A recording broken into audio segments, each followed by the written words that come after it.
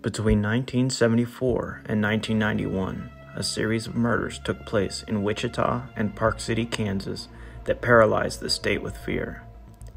Ten people would be killed by this sick creature, and police were taunted by gloating letters bragging of the heinous acts committed against the victims. In one of these letters, the killer gave himself a nickname based on his method of murder Dennis Rader, the BTK killer, with the motto bind them, torture them, kill them,